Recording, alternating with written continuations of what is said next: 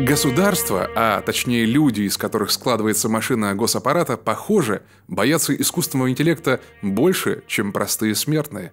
И их можно понять. Мы все больше узнаем о способностях искусственного интеллекта, которые создатели в него не закладывали и о которых до сих пор даже не догадывались, что делает новую технологию все менее предсказуемой, а значит и трудно контролируемой, особенно для государств. В новом исследовании инженеры нейросетей вместе с психологами выяснили, что современные языковые модели типа GPT могут понимать и учитывать эмоции собеседника, то есть вы можете манипулировать машиной и, что удивительно, добиваться лучше результата, чем если бы вы вели себя как сухарь.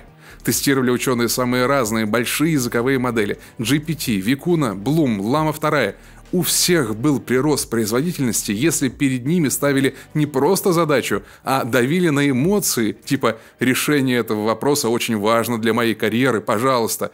В одном из самых сложных на сегодня общепринятых тестов для искусственного интеллекта Big Bench эффективность вырастала более чем в два раза. Никто этого не закладывал в алгоритмы, с которыми мы теперь говорим – они создавались как математические автоматы для предсказания с помощью статистики, какие слова за какими лучше ставить. Никто не проектировал в них и другую способность, недавно открытую, строить собственные пространственно-временные представления о мире – Эпоха Возрождения и Урюпинск – это для них больше не лишенные особого смысла разрозненные записи в гигантских массивах данных. Как показывает другое, новое исследование, в интеллектуальных системах вроде GPT возникает то, что исследователи называют моделью мира – структурированное кодирование пространства и времени. То есть машина учитывает, что из Петербурга в Москву за пару часов пешком не добраться – а Николу Теслу там сегодня не встретить, да и не подерется он с Илоном Маском, даже имея такое желание. Для нас очевидно, но машина тут как инопланетянин-клон, которого сделали вчера и загрузили массу информации о Земле, что к чему он понимать не может, потому что никогда не жил среди нас.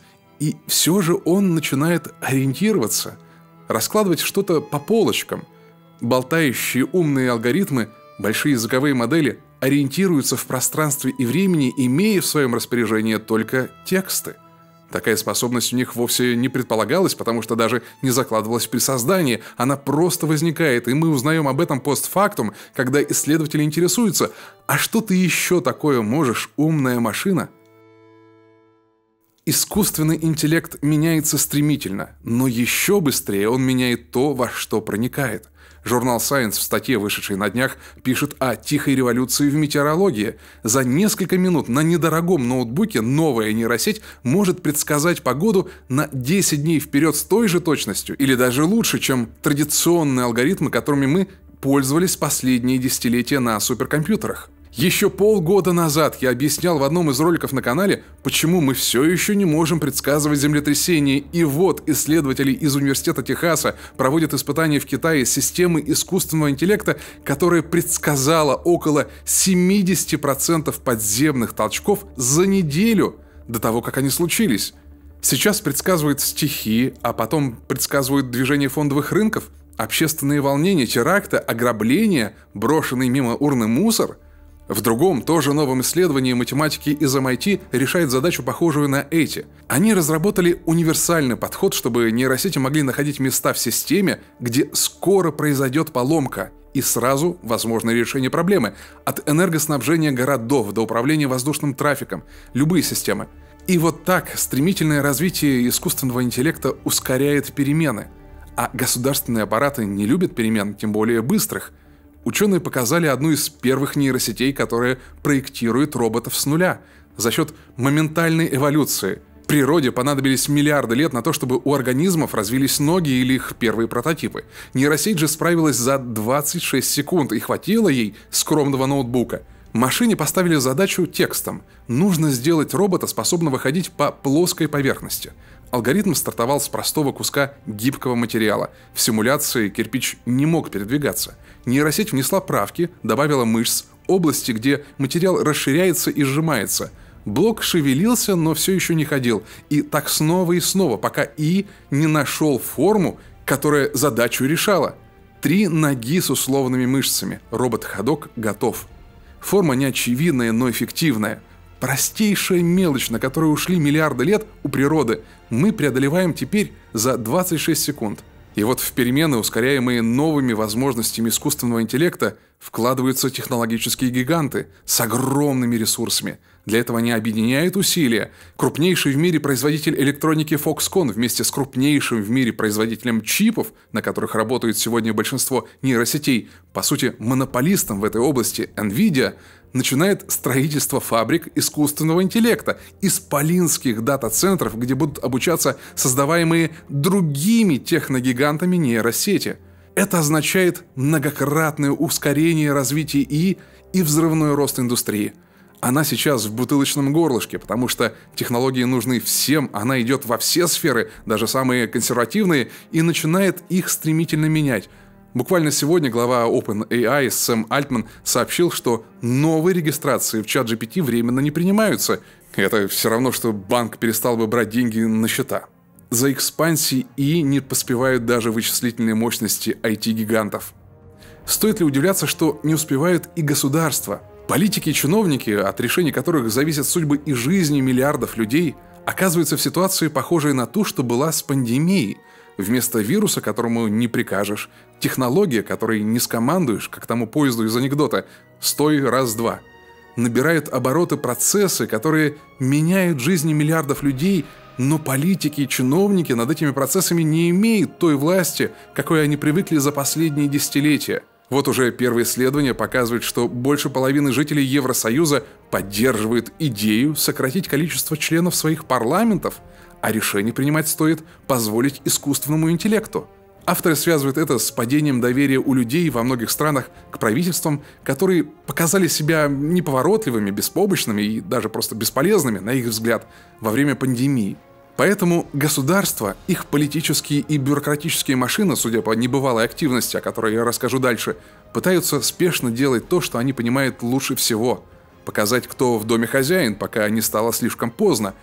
Они идут в наступление, вводят правила игры с ИИ огнем, чтобы преследовать тех, кто их нарушает, и делать самим то, что не позволено теперь остальным. Другими словами, Государства пытаются контролировать технологии искусственного интеллекта и в то же время использовать их, чтобы усилить себя.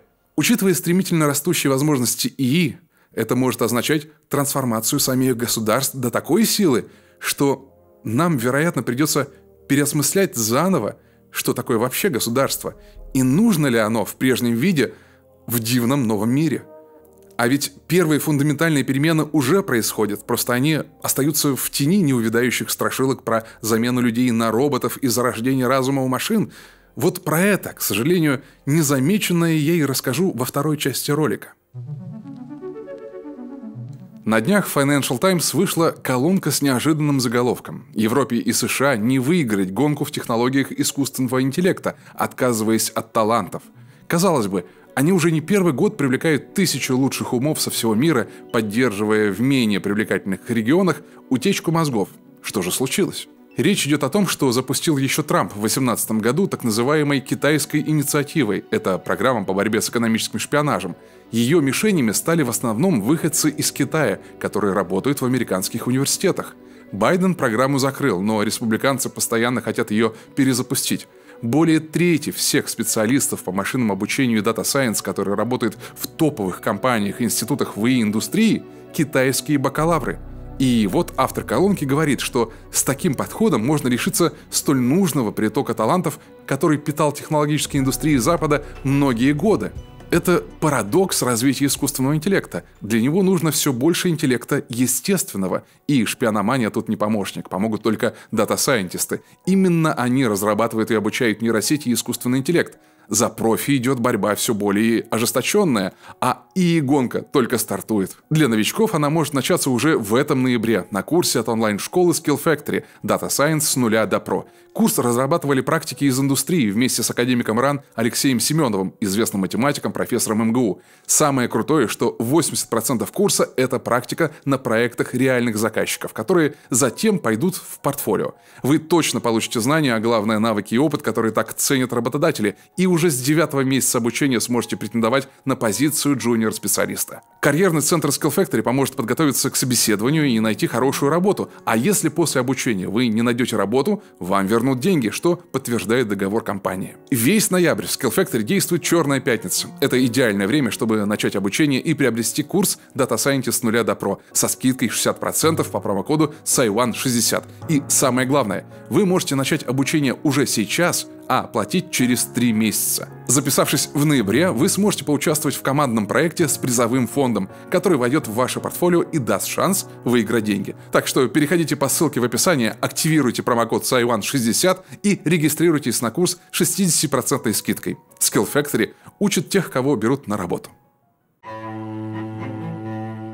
Искусственный интеллект уже проникает в основы основ государственных систем, судебной ветвь власти – в Бразилии более половины судов сейчас используют системы на базе искусственного интеллекта в своей работе. Не от хорошей жизни. Они пытаются справиться с коллапсом судебной машины. Страна занимает первое место в мире по количеству исков. Их на рассмотрение в прошлом году было 82 миллиона. В этом еще больше. Это означает, что каждый судья должен без сна и выходных рассматривать по 17 штук в сутки – Конечно, это невозможно, так что тяжбы растягиваются на годы. Искусственный интеллект же здесь служит чернорабочим, который без остановок перелопачивает тонны цифровых документов за работников судов и выдает результат, с которым уже и работают люди – но вот пару недель назад стало известно о первом контракте, заключенном между двумя юристами-ботами, которые принадлежат юридическим фирмам. Две системы между собой, без человека, вели переговоры от начала пустой страницы в Word до финального драфта документа. Сами составляли текст, правили, согласовывали между собой эти правки, пока все пункты и формулировки не устроили обе стороны, и договор был заключен. Подписывали, правда, пока еще реальные люди. Они же проверили, все ли в порядке. Но 80% рабочего времени корпоративных юристов, по данным крупнейших юрфирм, это длинные циклы, вычетка документов, внесение правок и переписка с другой стороной, снова вычетка и так по кругу снова и снова. Все это может теперь делать машина, услуги которые стоят во много раз дешевле, чем живого специалиста, и вот бизнес, который хочет делать больше за меньшие издержки, чтобы зарабатывать больше – делает шаг, на который государство пока не решается. Бизнес подошел вплотную к тому, чтобы исключить из цепочки ключевых операций человека и его такой ненадежный, дорогостоящий и ограниченный в возможностях человеческий фактор. Разве не этого мы ждем от судов? беспристрастного решения, которое не зависит от настроения, личных симпатий, интересов, интеллектуальных способностей и моральных качеств человека в мантии с молотком – Разве мы не хотим судью, перед которым все люди равны? Оказывается, не всегда. Например, именно человеческие слабости суда могут дать вам шанс на более выгодное для вас решение. В американском штате Виргиния внедрили систему, которая автоматически оценивает, насколько вероятно, что подсудимый совершит преступление снова.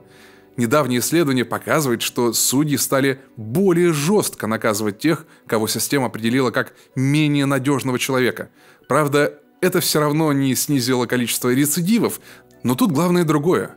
Алгоритм больше проблем с законом предсказывал молодым людям, а судьи им как раз выносили более мягкие вердикты. Люди давали людям второй шанс. Даст ли его неумолимый и бескровный искусственный интеллект? Это один из самых частых аргументов в пользу того, что человек должен определять судьбу других людей. Такое нельзя делегировать роботам. Но что если судам – не доверяет больше половины страны. Какой выбор? Оставить все как есть, и пусть на 10 решений за взятки или по звонку, или по настроению приходится пара профессиональных и взвешенных. Или мы попробуем с помощью ИИ получить 10 профессиональных решений и пару, да, бездушно жестких. Только один из четверых россиян считает, что в стране суды работают правильно. Почти половина вовсе не ждет справедливых решений, это данные опроса Фонда общественного мнения и Федеральной службы охраны за 2020 год, то есть результаты, полученные государственными структурами. Возможно, выбор между человеком-судьей и роботом-судьей встает острее там, где человеку доверия уже меньше, чем роботу. И если в государствах с высоким доверием к традиционным судам у искусственного интеллекта меньше шансов начать принимать решения по делам, то в других, где все запущено и просвета не видно со справедливыми вердиктами, это может оказаться последней надеждой починить судебную систему, Я говорю про надежду, потому что мы не знаем, как такая перестройка, переход на ИИ-системы целой ветви власти скажется на остальных частях государства. Как с ИИ-судьей будет работать исполнительная ветвь, чиновники и полицейские. Толку от безупречных судей, если до суда реальные преступники не добираются. Так вот, с исполнительной властью мы тоже имеем первый практический опыт – Большой эксперимент запустили в начале десятых годов китайские власти, которые давно выстраивают на разных уровнях целые цифровые системы контроля за процессами в государстве, не только в обществе.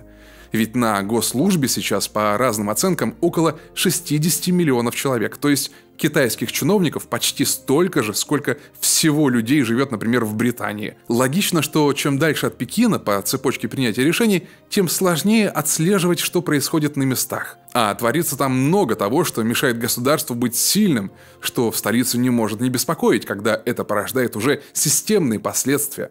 Кумовство, когда своему человечку как не породить, взятки большие и малые, да и просто очковтирательство докладывают одно, а на деле другое – как управлять-то нормально, если хочешь сильную армию, низкую преступность, высокий экономический рост? И вот Китайская Академия Наук получает запрос от Компартии «Помогите».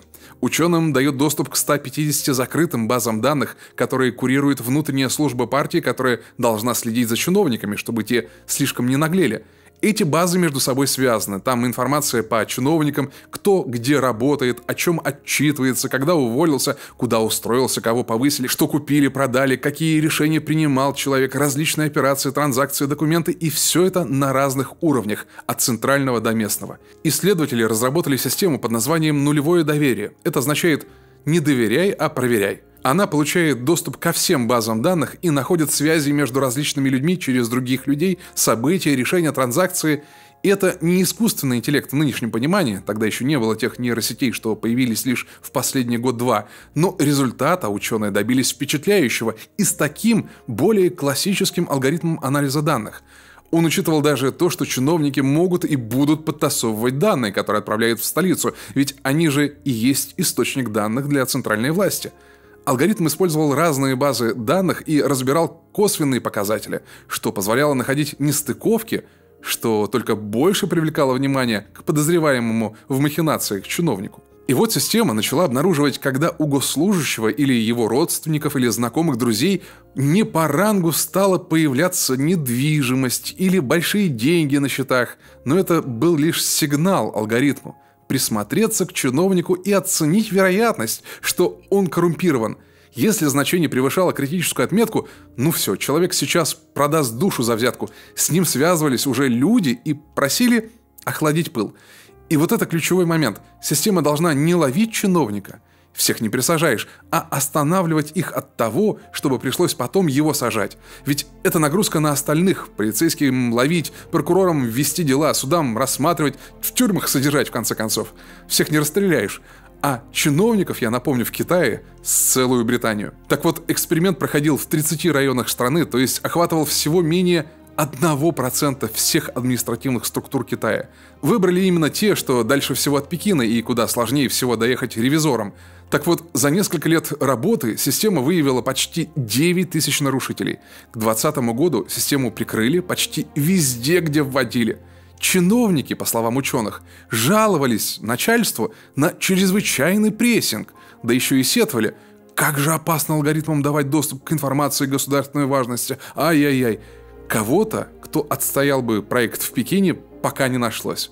Его, скорее всего, уже и не внедрят по всей стране, хотя разработчики стали добавлять и возможности нейросетей в последние годы. Но что если ИИ будет не ревизором, а чиновником, беспристрастным, без родственников, шкурных интересов, карьерных амбиций, только задачи, которые прописаны в его полномочиях – Какую работу делает средний чиновник, человек бумаг, инструкций, по сути, винтик в государственной машине, какую не смогла бы сделать даже средней руки нейросеть типа GPT 3,5? Для меня это вопрос риторический, а для вас? Ну и остается самое трудное для проникновения искусственного интеллекта ветвь власти – законодательная. Там политика, там борьба за интересы разных экономических, социальных, политических групп – Все они разны по размерам, влиянию и должны в идеале балансироваться через систему выборов законных представителей. Кто побеждает на выборах, у того больше возможностей проводить законы. При этом остальные защищены неизменными законами типа Конституции и международными конвенциями. Но это крайне упрощенная схема. Это понятно. Так вот, как бы искусственный интеллект мог представить интересы разных групп людей из одного общества – как он бы убеждал других и депутатов, что надо больше выделить денег на стипендии для талантливых студентов? Ну хорошо, допустим, убедил бы, но что если в обществе много тех, кто хотят запретить ЛГБТ-организации, и это прямо противоречит интересам представителей ЛГБТ? Чей и депутат должен победить, раз уж мы создаем справедливое и государство равных возможностей и прав? И тут снова и снова повторяющийся аргумент тех, кто считает, что только люди могут понимать людей и решать вопросы надо по-человечески, ведь мы такие мастера взаимопонимания, переговоров и творческих решений. Но тут стоит вспомнить, что в реальном государстве, пожалуй, любом, баланс интересов далек от идеального. Есть те, у кого больше ресурсов и власти, они-то и будут иметь больше возможностей подчинить своей воле остальных. Например, не сдерживаемые ничем силовики могут требовать больше себе полномочий, право без решения суда вторгаться в жилище, защиту от разбирательств на случай убийства при исполнении, право изымать личное авто или даже заводить собственные военизированные силы с танками и прочей бронетехникой. Вопрос лишь в какой степени более сильная группа влияния может позволить себе без последствий преследовать свои интересы, и кто больше всех заплатит за то, что они так заботятся о себе. Не они же, в конце концов. И вот здесь возражение, как и с судами – если существующая система и так едва ли работает, депутаты и так не представляют что-то кроме своих интересов или интересов своих групп влияния, то что мы, остальное общество, теряем, делая ставку на и парламент? Я понимаю, как все это безумно и далеко от практики звучит, но ведь рано или поздно, если система не сбалансирована, в ней наступает кризис в любой системе – этот кризис может ее разрушить, и на ее месте иногда приходится строить что-то совершенно новое. Возможно, сейчас самое время подумать о том, как не возиться с устаревшими инструментами строительства государств, которые себя не оправдали за несколько столетий, а переизобрести эти инструменты, переизобрести, может быть, даже сами государства с учетом того, что мы подошли к рубежу, когда появляется альтернативный нашему интеллект, которому мы все больше можем доверить, то, что прежде доверяли только людям. Где-то вождение авто, где-то проведение операции на сердце или мозге, а где-то и государственное управление. А что думаете вы? Пишите в комментариях. Вдруг что-то нащупаем. Друзья, спасибо, что даете возможность не только думать о подобном, но и делиться с другими. Спасибо за вашу поддержку на Патреоне, Boosty и здесь на Ютубе. Особая благодарность. Павел Новиков, Петр Кандауров, Александр Корысткин, Андрей Полевой, Ади Багер, Павел Дунаев, Антон Польгунов, Павел Борский, Хапчинск, Алена Мацукова, Олег Жинь, Ренат Бальбеков, Максим Менделев, Владимир Ямщиков, Василиса Версус, Евгений Балахнин, Конор Левич, Павел Валентов, 137 число Вселенной, Владимир Подгорный, Алексей Шевелев, Серега, Павел Петриковский, Александр Аха, Станислав Чернин, Роман Бородуля, Дмитрий Шаховцов, Виталий Ребенко, Ленар Хуснулин, Фимба музыкальный инструмент, Азазель, Екатерина Храпова и Флипикс. Спасибо и тем, кто поддерживает лайком и комментарием. Это тоже очень приятно. С вами был Влад. Мирного нам неба и до встречи.